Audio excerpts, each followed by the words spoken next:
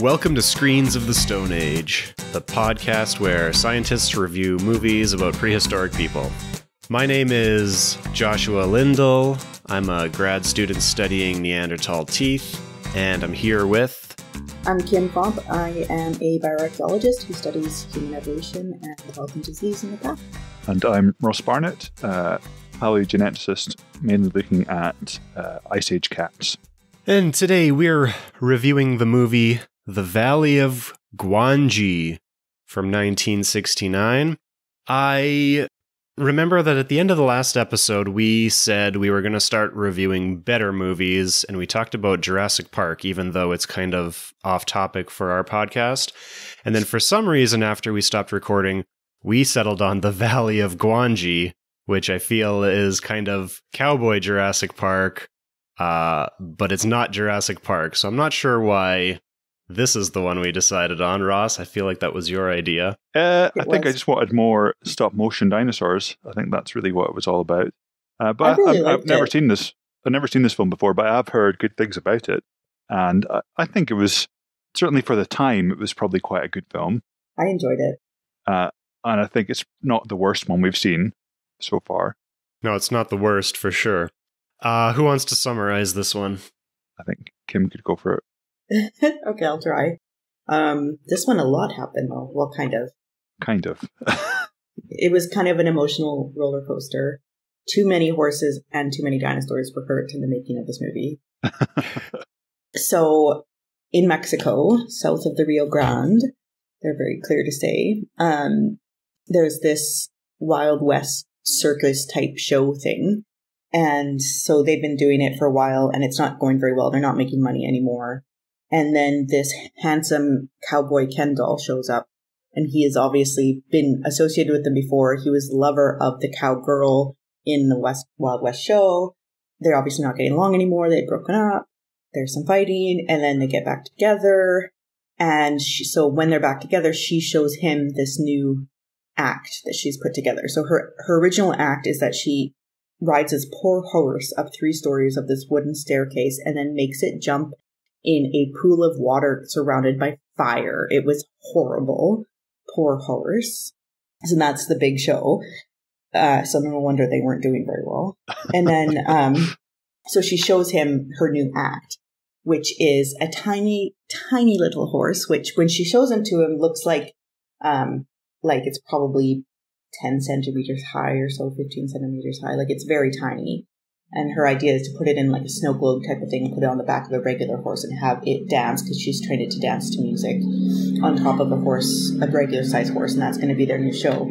And then the Ken doll is like, oh my goodness, we can make so much money selling this tiny horse to Barnum Bailey. Is that right? Barnum and Bailey Mhm. and Wild Bill, um, the big guys at that time. And um, he also goes out. I don't remember if this was before or after he sees the little horse. I think was before. Goes out into the desert um, and he meets a paleontologist who is alone for some reason doing fieldwork in Mexico trying to find the oldest hominoid, which he says is human like creatures, which he thinks, he says that most paleontologists think that they date to uh, 1 million years old, but he wants to prove that they date to at least 50 million years old. He's chosen, he uses 50 million years throughout the entire movie as this, like everything happens before or after 50 million years.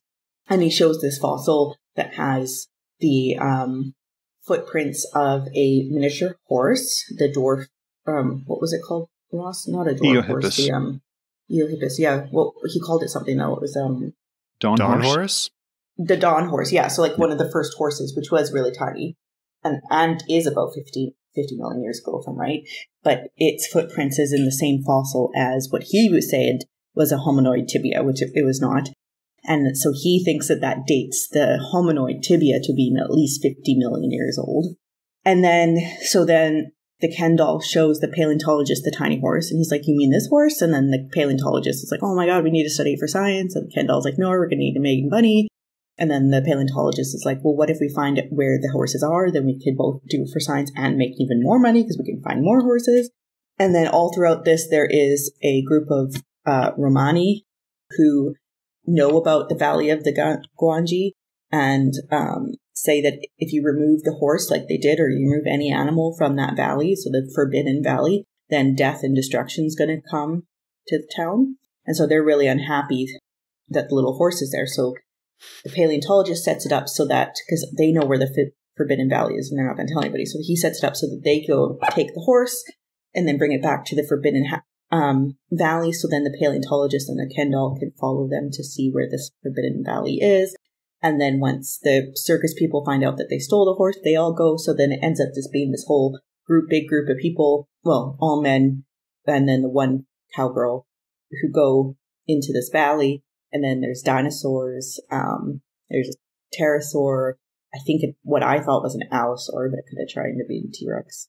And yeah, so they have to fight a bunch of dinosaurs and then they leave. Finally, they can leave the valley. There's no more horses. We never hear or even think about the horse again. And they leave the valley, and then the Allosaurus chases them out of the valley. Um, it gets hurt because there's a rock fall as it's trying to get out of the valley. So then they tie it up with some rope and some twigs, and that somehow keeps it contained. And then they take it to the circus. And then the Romanis are really upset. So they, um, one of them undoes the cage that the Allosaurus is in. So the Allosaurus gets out, and then it's all chaos as everybody runs screaming from the theater. And then the, the Allosaurus does a rampage through the town. And then everybody runs into the church, which is the only building in the village that has high enough doors and ceilings for the Allosaurus to just easily walk into. So then everybody has to run out of the church, and then they trap the Allosaurus in the church, and then the church lets on fire, and the Allosaurus dies. And that's it. And it just sort of ends abruptly on that. yeah. It was really sad. I mean, that poor Allosaurus didn't do anything but exist. And eat several people. Well, okay, but they were asking for it. yeah, and, like, you can't blame it for doing that. It was just doing Allosaurus shit. Mm. If they had just left it alone. Yeah, they hadn't, like, stomped into its valley and uh, tried shooting it. Yeah, and then kidnapping it and then taking it and so, do we want to stick with our format and start off with the uh, inaccuracies? Dinosaurs and humans don't exist at the same time. But this is different because it's not a caveman movie with cavemen living with dinosaurs. It's no. uh, dinosaurs that have survived in a secret valley for yeah. 50 million years, apparently. Mm-hmm. Yeah. So, I mean, it's not the setup that they're going for isn't technically inaccurate. They're kind of proposing a lost world kind of scenario where this valley, which seems to be, you know, slap bang in the middle of, of Mexico, uh, with with nothing particularly to isolate it, has been isolated for 66 million years and still has um, very scientifically inaccurate dinosaurs roaming around, and mm-hmm. somehow and, also uh, Eohippus. Yeah. So Eohippus is from what 50 million years ago? The tiny horses. I guess, 55? yeah. That that kind of time periods, or uh, after the dinosaurs. Yeah, yeah, for sure there would be absolutely no reason why any reputable um, paleontologist or archaeologist would be looking for human ancestors of 50 million years old, especially not in Mexico. For sure, yeah. But we we don't actually know that he was reputable. He was only ever working alone. We never see anybody else talking. He's not working with any other professionals in in his field. Yeah, he does a lot of drinking and not a lot of paleontology, which is possibly quite uh, not inaccurate. No, inaccurate, exactly. I don't know why they had to make him be looking for a humanoid at 50 million. Like, why not just be looking for the horse? That yeah. was enough on itself, right? Yeah. And then the humanoid aspect never came up again. And also, his, his humanoid theory that he goes on about is totally buggered by, you know, the fact that they, they find living uh, Eohippus. I mean, that means yeah. that, that his fossil, in inverted commas, could have come from any time up until like last week. Because uh, yeah.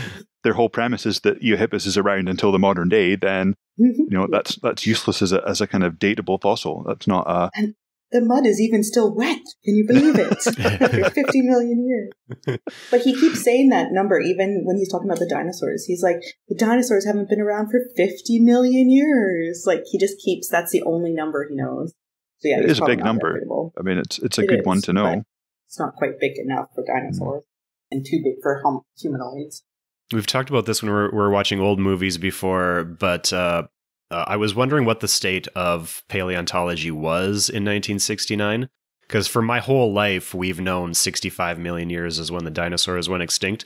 But when did we actually learn that? Because we didn't even have radio radiometric dating until the 1950s.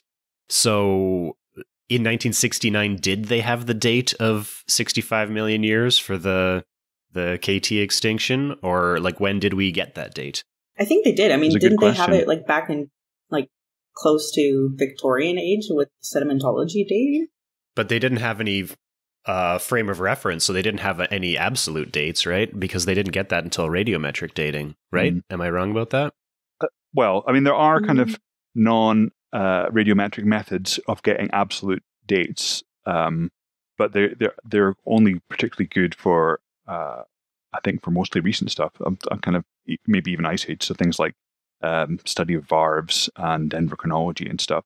hmm But yeah, I don't, I, I don't know the answer to that, and that's something I'd be interested to find out. When did sort of 65, although now I'm seeing more and more sources put uh, 66 uh, million years. Mhm. When did that become the kind of standard uh, accepted uh, kind of split point between end Cretaceous, beginning uh, Triassic?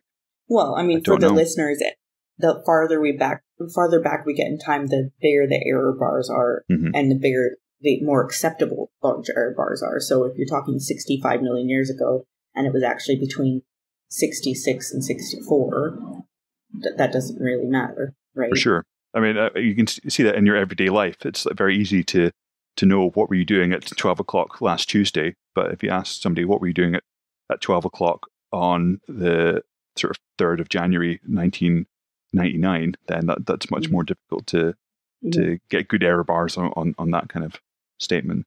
That's something that a lot of these movies that are comedies uh, joke about, right? Like uh, the last movie started off uh, setting it at 1 zillion BC, October 9th, where they sort of combine this level of like this vague time range with a very specific arbitrary date. Hmm. But uh, yeah, I really like the Eohippus, the El Diablo is what they called it. I mean, They did It's a kind of really weird, good so- job, I thought. Yeah, it was really nice. I mean, it's- it's a, a Ray Harryhausen uh, creation, and, and it's beautiful. But uh, it was a bit weird, you know. El Diablo is Spanish for the Diablo or the devil, I know the devil. I know it. and you know, it's it doesn't look couldn't look any less devilish. This delightful little miniature miniature horse uh, that just sort of prances around and looks cute. I know, and they tr- they teach it to dance to like um a jewelry box chime, and then call it El Di- Diablo. Yeah, I thought that was weird too. It, it makes sense that the Romani witch lady would call it the devil because she's the one prophesizing this evil coming out of this valley. But then it's very weird for the circus to advertise it as a devil when it's a cute little horse. But like Mhm. the circus was using El Diablo in their own branding for it, right? Mhm. yeah. Yeah. That's the part that I thought was weird. Yeah. And I mean, it, it's clearly it's uh, off its time. This film, I, I think it's weird the the kind of stereotypes of the of the Romani characters in the film are bizarre as well. I mean, they don't particularly make sense. Why uh, some Romani people would know about a secret valley in Mexico, uh, but not, for instance, say native Mexicans that, that have lived there for you know ten thousand years. I don't know. I mean, that I think that feeds into kind of stereotypes of the time about you know secret knowledge and things like that. Her being psychic and having powers. Yeah. Yeah, it's, Yeah. that's quite strange. Yeah, we can talk about the problematic Mhm. aspects of this movie that are of its time. Like we're calling them Romani, but of course they call them gypsies throughout the movie. Mhm. They also have uh, part of the circus. Uh, the movie starts out with um, a reenactment of a cowboy and Indian war, and they call them Indians throughout the movie as well. Mhm. And I don't know if you looked up any of the actors, but uh, there's this uh, young boy, uh, Lupe Lope, who plays a prominent role in the movie. But uh, he was born in England, clearly uh, overdubbed with a with a, a Hispanic accent, and uh, pretty sure that a lot of the characters are in brownface in this movie because Mhm. most of them are English actors. Yeah, that was pretty. And there's there's quite a lot of really uh, bad overdubbing as well. Like the the, the cowgirl character TJ, uh, Mhm. it's really really noticeable how badly she's been overdubbed all the way through. Mhm. And I think I, I kind of looked up some of the actors afterwards, and, and uh, I think I read that somewhere she was Israeli I think, or or she'd grow, grown up in Israel. Um, but they, they decided to overdub her accent, uh, so we never actually hear her speak. Hmm. We just hear the, the kind of dubbing all, all throughout, and it doesn't match up with the mouth movements particularly well. But she has an American accent in the movie too. Yeah, I, I was really freaked out by the the main character Tuck. I mean, th- this is very Mhm. much a film of its time where you know men are men and women are dames, that kind of thing. Mhm. And he's quite he looks exactly like Charlton Heston. And so when he kind of turned up on screen, I thought, oh wow, I didn't realize Charlton Heston was in this. But it's no, not I Charlton googled Heston. Would. Yeah, no, it's not. He- he's just like a he's an own brand, Charlton Heston. I think hmm um, Mhm. that was that was quite disconcerting. He does look like Ken come to life though. Like if Ken were to come to life, that would be him And be a horrible with the misogynist. smile and everything. Yeah. Yes. One thing I noticed, um, kind of at the end of the movie when they were, when the whole group went into the valley. The second, some words. Sorry, motorcycle without a muffler. Um, when they all went into the valley, all the men are wearing like their dirty cowboy clothes, right? And they didn't bring bags except for with water and stuff, so they're all wearing their dirty cowboy clothes. But she changes outfits: pants, tops, scarf, everything. She changes outfit. I did not notice that, but that's that's a I good did, catch. Yeah. other i mean obviously the other mistakes are having uh, kind of tertiary and uh, mesozoic animals together so dinosaurs and eohippus doesn't really make Yeah. sense having uh, kind of a whole mix of things like the dinosaurs they have pteranodon which is a pterosaur flying reptile but they have uh, allosaurus i think i think you're right kim i think it's an allosaurus i noticed it had three fingers rather than Mhm. the two which t-rex has so i think it's meant to be an Mhm. allosaurus they have a Styracosaurus, which is the kind of uh, which is a ceratopsid, so um, like Triceratops, but it's only got one horn and lots of Mhm. spikes on its actual frill. I don't know exactly if those guys were around at the same time, possibly. Um, it's got uh, some kind of small theropod, which is one of the things that's seen at the beginning. Something like I thought it was like uh, a galley gallimimus or something. yeah, Gallimimus or, or Coelophysis or, yeah. or something like that.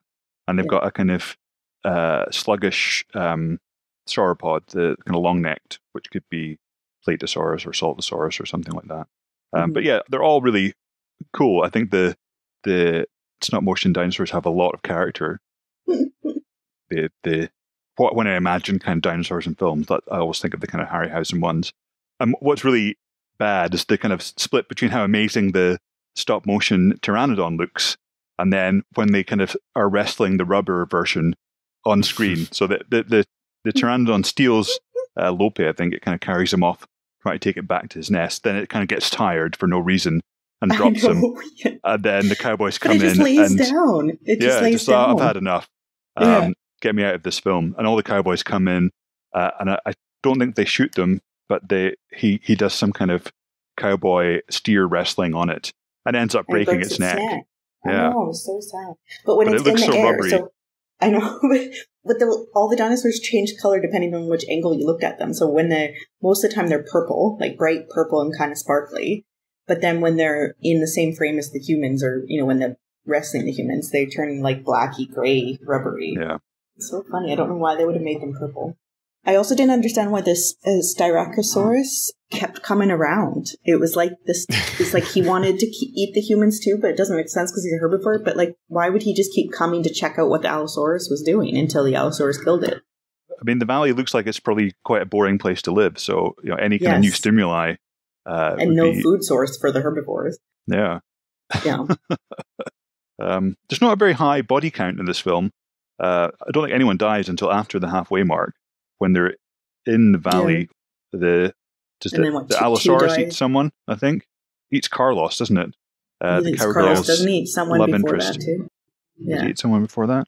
Well, Carlos' brother Miguel, right in the opening scene, dies trying to get the Eohippus out of Ah. the valley, right? So, Okay. and then Mm. the the Romani witch commented that both brothers, she prophesized that both of them would die or something like that. right. But he could have just been having a bad day. We don't know that he was attacked by the dinosaur. Yeah, exactly. Hmm. Heart attack or something. Yeah. Heat stroke. And then uh, the Allosaurus killed uh, one or two villagers at Rom- the Romani guy that opened the cage and then a villager.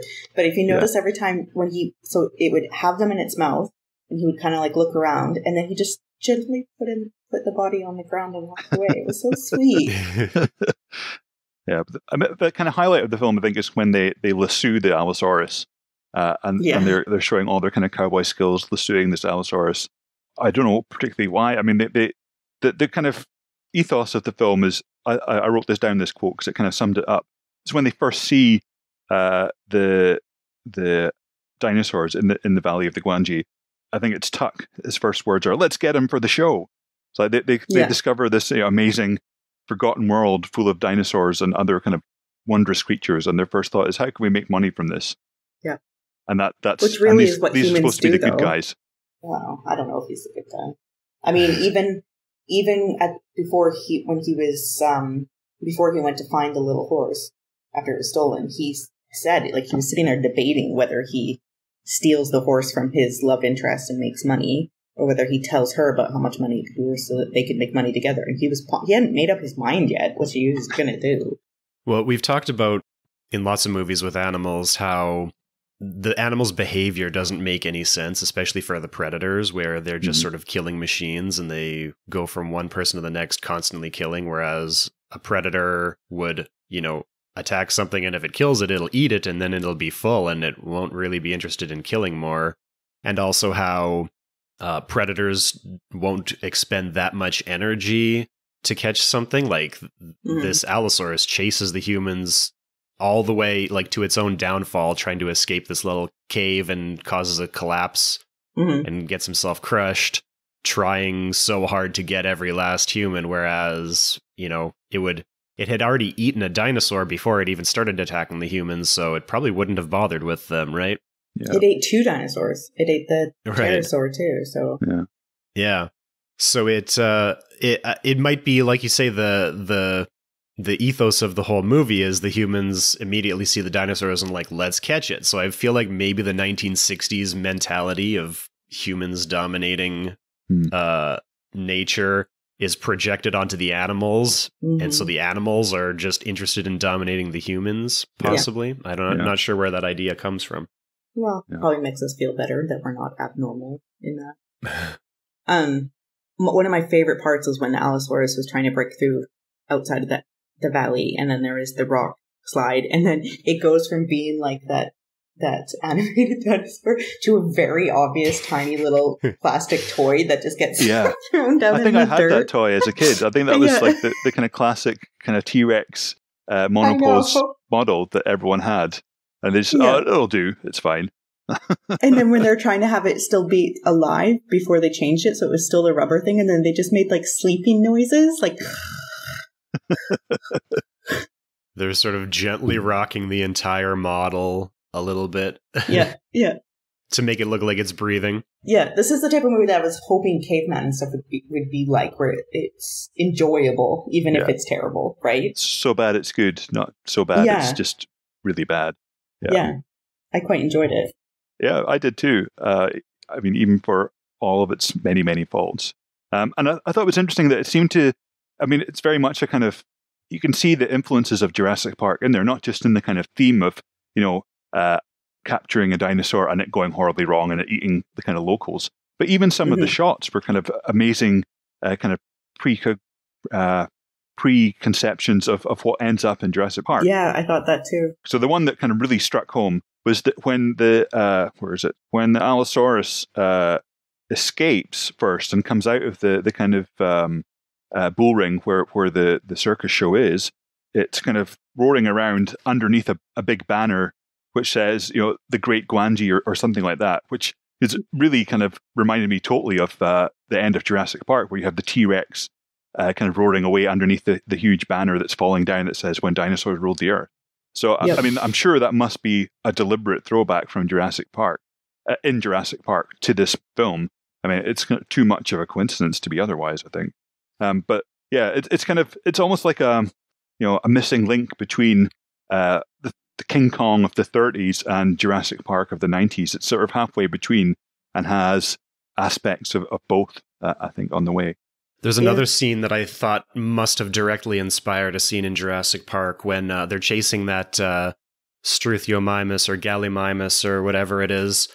Uh, and then it sort of gets beyond them, but then the T Rex or the Allosaurus sort of ambushes surprisingly from off screen and uh, attacks and kills this uh, whatever Gallimimus or what it was a Gallimimus in Jurassic Park. hmm Uh, but like the the emotions of that Tyrannosaurus biting it and then sort of shaking it and then dropping it and then picking down at it looks exactly like the way the Tyrannosaurus does in Jurassic Park. So Hmm.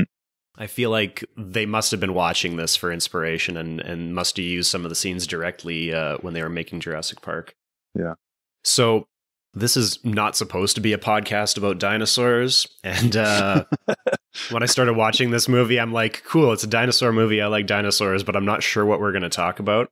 And then in the first scene where we meet uh, the paleontologist, he says a few little things there, and I'm like, oh, great, we might have some material. And they kind of uh, lose it pretty quickly after that. But uh, some things that I liked are. Um, He's introduced as an archaeologist and he corrects him and says, Well, kind of. I'm actually a paleontologist. And I'm like, Oh, that's a nice distinction for 1969. That was Mhm. great. I mean, uh, we could do with that today. I mean, the number of times you hear news articles where they confuse the, the two totally separate fields. hmm hmm Uh, then he also starts talking about Eohippus, and I'm like, oh, great, it's uh, uh, tertiary mammals. That's much closer to what uh, we should actually be talking about, even though it's, you know, 45 million years before humans, but uh, still slightly closer than It's, a ma- dinosaurs. it's a mammal, though. So It's a mammal, yeah, it's not a dinosaur. Uh, but then as soon as the dinosaurs show up, we forget about Eohippus. We immediately forget about this humanoid or hominoid or whatever he says, humanoid theory.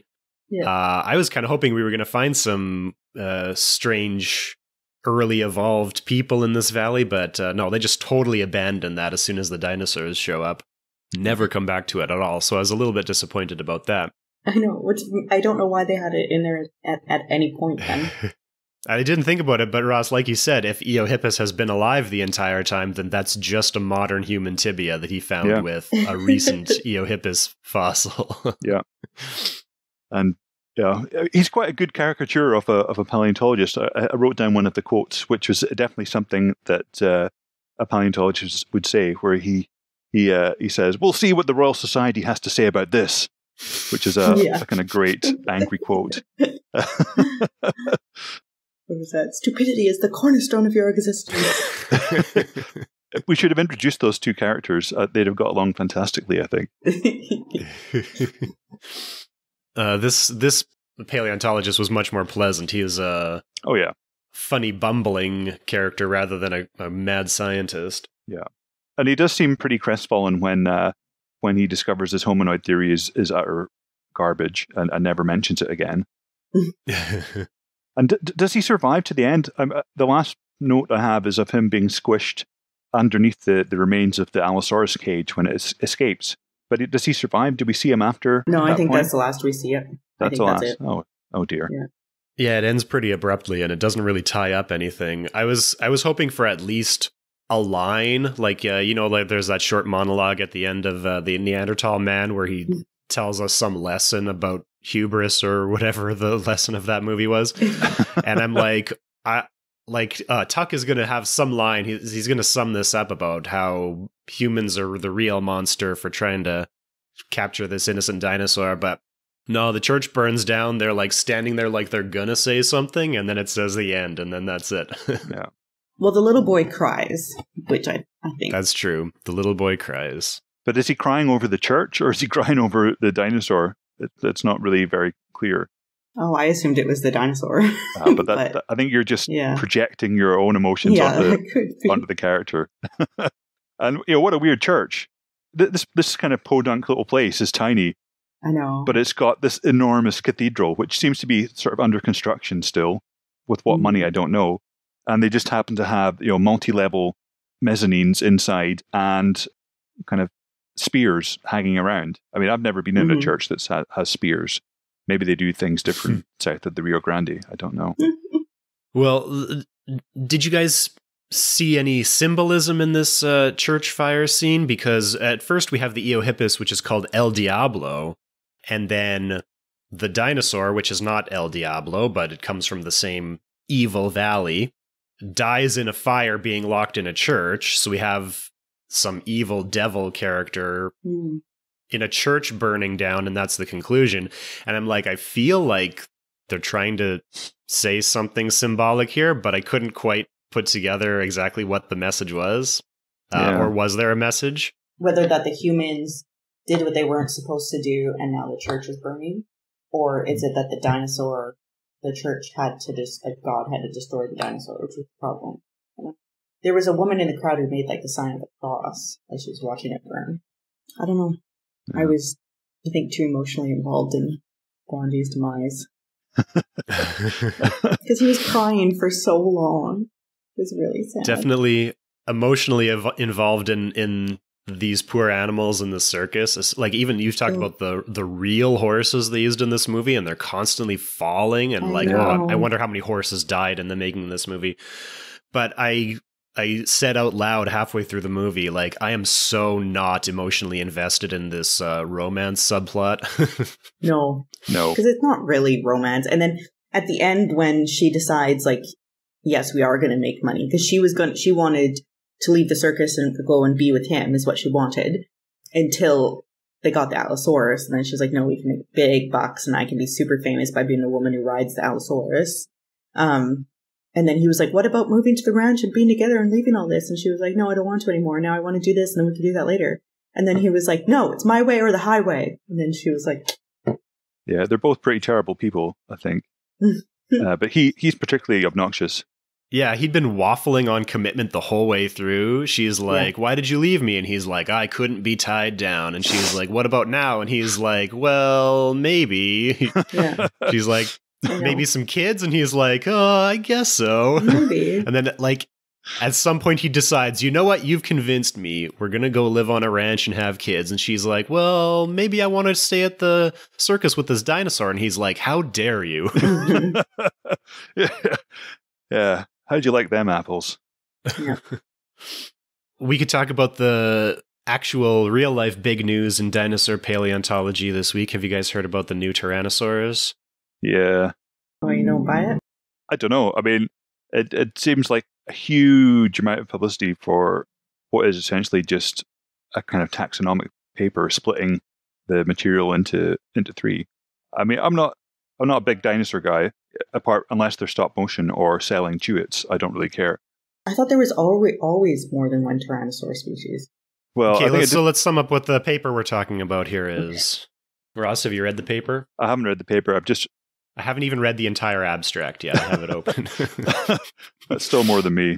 Basically, it's a paper suggesting that Tyrannosaurus rex should be divided into three separate species.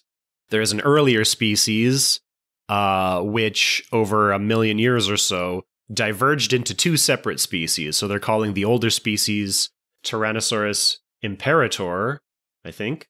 And then the two daughter species, which it divides into, they're calling Tyrannosaurus rex and Tyrannosaurus regina, uh, which I like the names. Tyrannosaurus Mm, yeah. Emperor is the old one, and then Tyrannosaurus King and Tyrannosaurus Queen. Uh, that's cool naming, but I guess it comes down to the lumper splitter debate Yeah. in the end, right? Yep. Yeah. Which, if this was human paleontology going on here, this would be no question that it's three species, and they'd probably be trying to divide that into about a dozen other species. uh, so I think that human paleontology are the most splitter splittery of all of the paleontology. Splitters. Yeah. I agree that um, I, I thought that there were other Tyrannosaurus species before too, which I guess Well, that maybe what debate it has is been is that- settled and they've There's more than one Tyrannosaurus species, so Tyrannosaurus is, is the genus, and then this is T Rex is being split into three.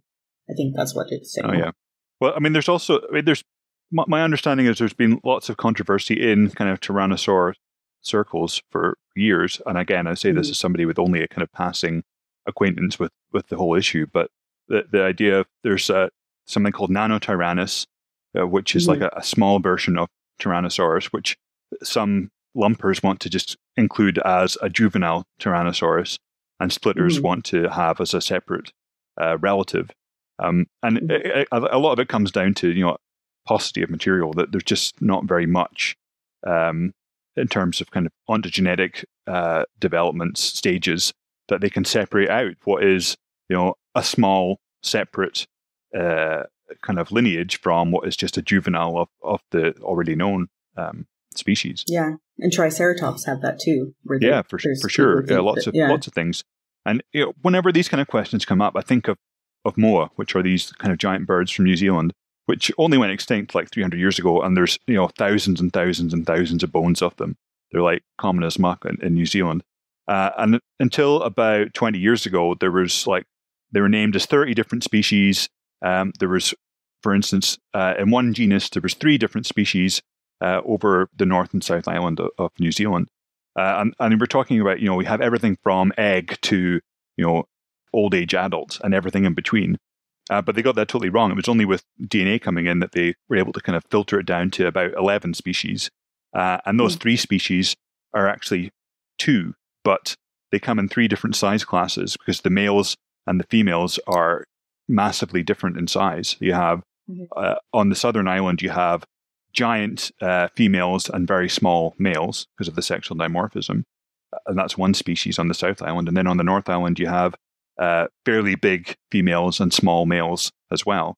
And so it- it's completely uh, the bones tell you if you're just looking at bone sizes and morphology, then you get completely confused. It's only with the genetics that you're able to to make sense of it. And you know this is where you have even tens of thousands of bones, and then you have, by comparison, you know, Tyrannosaurus systematics where you have like a dozen bones uh, over 20 million years worth, or or something like that. Um, maybe I'm just too conservative, but I always think it makes more sense to to be a lumper than a than a splitter. Yeah, I don't know. I change my mind all the time. Hmm. There was uh, another previous Tyrannosaurus uh, that uh, was called Tyrannosaurus bataar, uh, which Mhm. is the one I always think of, but Mhm. uh, that one looks like it's been reclassified to Tarbosaurus. Yeah. Uh, so I don't think that uh, most people are considering that to be a Tyrannosaurus anymore. That's the that's the one from Mongolia, isn't it? That's there's been a whole bunch of controversy over uh, illegal selling of, of specimens. Um, yeah. that one. But if we want to talk about lumping and splitting, we could tie it into the film by talking about horses, because you know horses are a really good example of, of these kind of questions. So you've got, you know, classically, um, right from the get go, just after Darwin published uh, Theory of Evolution, you have T. H. Huxley, Darwin's bulldog, one of his good friends and strong pro- proponents of of uh, evolution by natural selection, using the evolution of the horse as a as a good example of of how things change through time. And you have this classic, you know, almost as classic as the the the kind of evolution of man uh, timeline, going from hunched over kind of chimp to upright uh, European. You know, totally wrong, totally debunked. This is exactly the same thing happened with horses, where you go from you know very small Eohippus with its three toes to bigger uh, horses like um, uh, Hipparion and and other ones, which have more uh, more pronounced middle toes with just the, the two toes at the side off the ground, all the way up to finally enormous horses with just the, the kind of one toe that's become the hoof. And again, like with the human uh, kind of diagram, that's totally debunked. We know that evolution doesn't happen in a straight line. All of these are on kind of branches like a big uh, bushy kind of tree. But you know, Eohippus was a real animal, which is cool right at the beginning.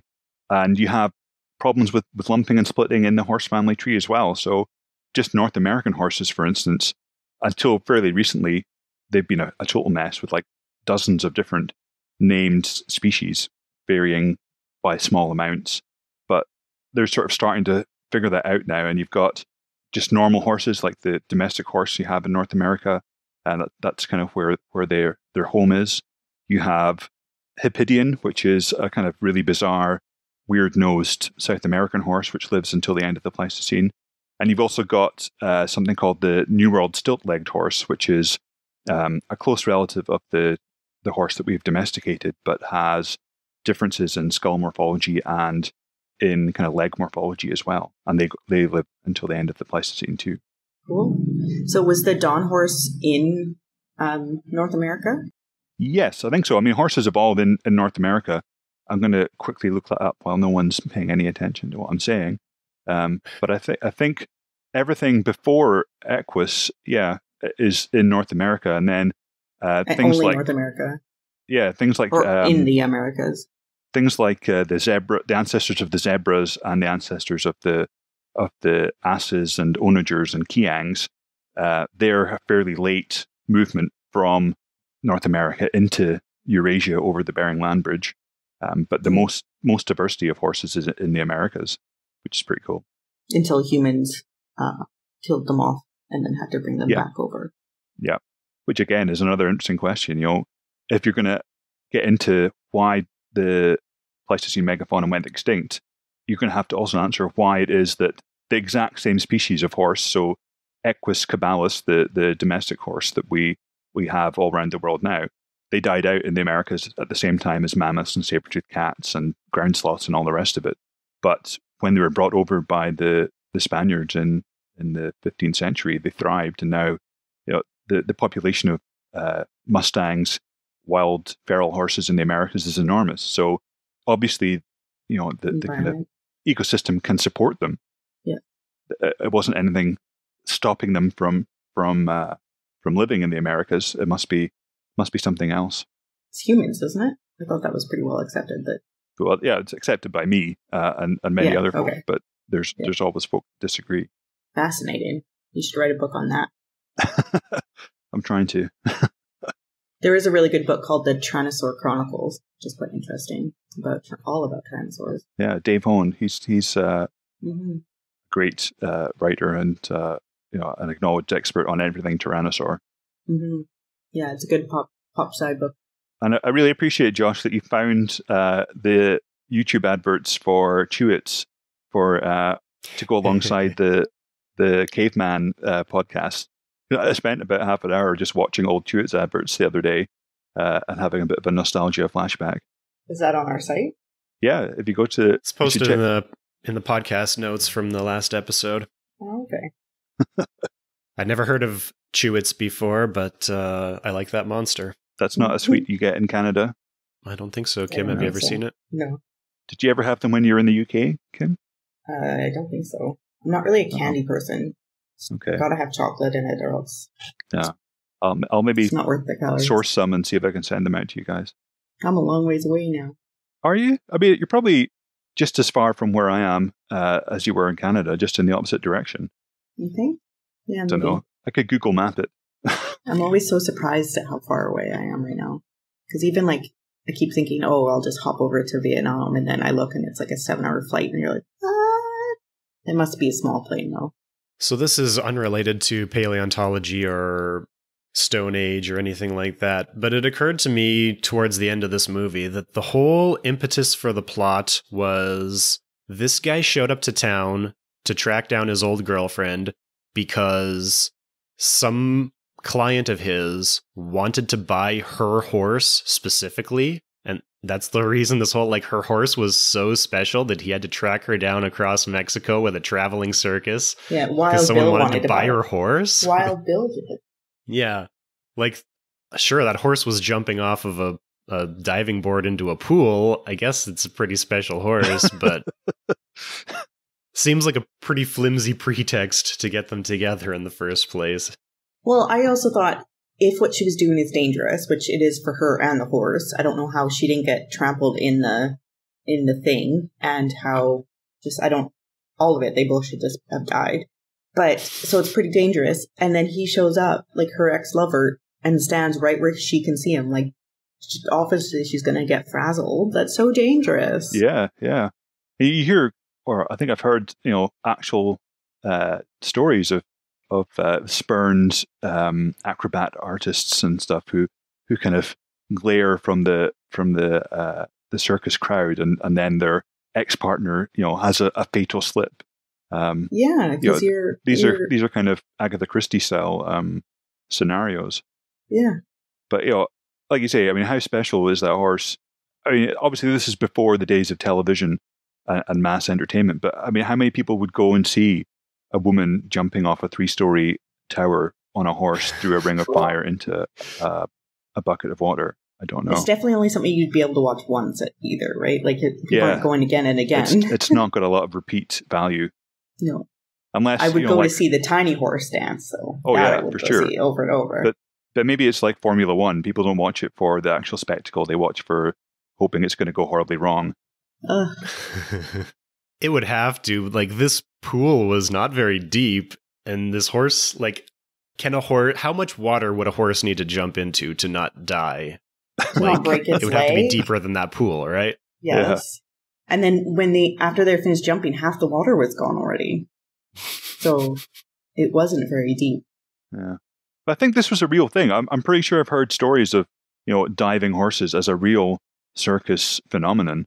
Um, you know, I think this is probably back in the day when horses were cheap. Is it, so you know it didn't matter if they only ever did it once. You just get a new Oh. horse in. I mean, that also doesn't make sense. You know, why bother getting chasing a, a kind of special horse all the way over Mexico when you know you could buy half a dozen horses and just push them off. I know. I don't think it did have a. You know, the Humane Society of America confirms that no animals were harmed in the making of this picture at the end. Did it? I don't think so. I don't. I don't think so. And you know, the, one of the reasons the Humane Society came in to uh, protect animals on films was that some early cowboy film, I can't remember its name, but they they had a, a big scene where uh, a whole bunch of horses were chased off a cliff to their death. And instead of using any special effects, they just bought a whole bunch of horses and chased them over the cliff and filmed it as they oh, as they plummeted to their death. And that was that was just a bit too much for the film goers of America. That's horrible. Mm. I appreciated that, that at least the the elephant that got killed was fake. But it kind of pissed me off because I mean, so when Allosaurus gets out and Gwangi gets out, it's hilarious because everybody's running, but then there's always, no matter how long it's been that he's out for, there's still people kind of running around. Like you're like, where have where have you been? Just sitting and watching, and now you've decided to go. But the guy that was in charge of the elephant was kept the elephant in that corner, which one you would not be able to keep an elephant in the corner if there's an Allosaurus coming out after it. But it, he kept the elephant in the corner. He didn't let it get escape. And then finally at the end, he was like, ah, and then he ran away. So the elephant was just like a buffet style, just right there. yeah. That was me. it was quite weird because the, the, the there's an elephant, a real elephant in the in the kind of first scenes of the film when they the circus kind of comes to town, uh, Mm. and then they kind of switch over to, you know, you can clearly tell it's a stop motion the elephant in the the kind of final scenes, and you're like, Mhm. why? I was thinking, why are they? Why is the elephant stop motion when Mhm. they could just have a normal elephant do the tricks? But then it makes sense when you have the elephant fighting the Allosaurus um, towards the end. But I mean, God, one thing that really jarred me was the noises the elephant was making. I, mean, I know. I don't know who was the Foley artist for that, but they'd never heard an elephant make any noise because it was like, yeah, I can't even explain how weird it was. It wasn't It, trumpeting. yeah, It, was not strange. No, it It was it was a whole like different a, animal. like a screaming type of thing. Yeah, And the elephant knew something was wrong way before the humans did. Like the elephant was like, "No, the Allosaurus, can you not hear the metal clanking? It's getting out." Hmm. yeah, I just thought too many horses fell and too many dinosaurs were killed. But otherwise, it was good movie. So, how would we rank this one on a scale of 10,000 BC to Encino Man? Oh, it's hard to say because like I quite I, I did enjoy it, but then it's hard to say because it's probably getting a higher mark just because the ones that we've watched recently have been so bad. Yeah, I'd give it maybe a, uh, a third of an Encino Man. So three and a half. Yeah, something like that. Or maybe maybe a more generous half an Encino Man. Yeah, I would give it a five out of ten, something like that. Okay, so I gave Caveman a five, so I can't. So I would give this one Oh. like um, I'd give it a seven, but that seems too high. So maybe I'll adjust my Caveman to a three Can we do that? and give Is this that allowed? six. yes, we make the rules. It has a 6.2 on uh, IMDb, so That's not bad. it's about in the right area. Yeah. Any final thoughts about this one? Definitely worth watching, I think. And hmm you know, with with a view to how it clearly has influenced later films, I think it's probably worth worth seeing. Yeah, and the special effects are amazing. What year was uh 1 million years BC? Because it's the Hmm. both the dinosaurs were done by Ray Harryhausen, but I feel like the dinosaurs in 1 million years BC were a little more a little a little more refined and also they interacted directly with them more i was more impressed about how the actual people on screen were interacting with the dinosaurs in the same shot in that one Yeah. whereas they were a little more separated in this one Yeah, I, I agree. Uh, So, One Million Years came out in uh, 1966, so three years before this one. But yeah, I think possibly there was more of a time constraint on uh, Valley of the Gwangi than there was on One Million Years BC, and you can see that. It, Well, in one million years, BC had that that famous woman too, right? So it, I think it had a bigger Raquel um, Welch. budget. Yeah, would have had a higher budget. I don't think there's any big names in this one. except for um, Dollar Store uh, Charlton Heston. Yeah. I still, I think the worst movie we've seen mm, for me is either William or that Ancient Aliens one. which ancient aliens one? Oh, 10,000 bc Yeah. yeah william is not as bad as that one No, i no. liked william a little bit Yeah, for Mm. sure. 10,000 BC still works for me, or Caveman's pretty bad. I mean, there's so many bad ones, they all kind of blend together. It's all these films where a Caveman gets banished and then goes off and has adventures and comes back. hmm I feel like most of them have something redeemable, but uh, especially as we go back in time, they um, have some more and more problematic aspects that are hard to overlook. Yeah, Yeah. well, that's why Alfie is a good remake of that um, trope, right? They did a good job. Alfie. Sorry, what? You didn't watch Alpha? Alpha. All right. Yeah. Right. I was just about about to say, you know, Alfie is very problematic. yeah, it is very problematic.